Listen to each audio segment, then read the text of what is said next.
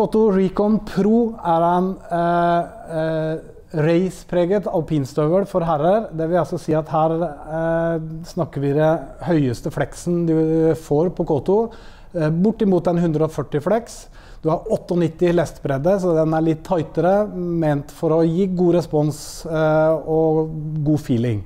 Uh, her har vi en innerstøvel som kan varmetilpasses. Skallet kan formes uh, både med varme og blokkes.